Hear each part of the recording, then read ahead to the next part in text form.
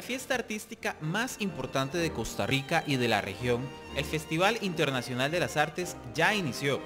Desde el jueves 29 de junio y hasta el 9 de julio, 154 espectáculos de artistas costarricenses e internacionales están programados para el disfrute de niños, jóvenes, adultos y adultos mayores, a lo largo de las 14 sedes ubicadas en el corazón de la capital del país centroamericano.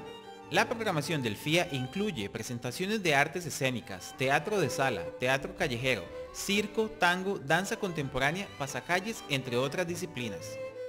El país invitado de este año es Argentina, por lo que 10 agrupaciones artísticas internacionales del FIA provienen del país suramericano. Esta nación representa un icono cultural para los costarricenses, según explicó Octavio Arbeláez, curador de este festival. Para mantenerse informados sobre todos los detalles del FIA 2017, las personas podrán utilizar la aplicación oficial en el sitio fiacr.com. Podrán acceder a ella desde cualquier lugar y ahí encontrarán un mapa que los va a dirigir por la ciudad a las distintas sedes.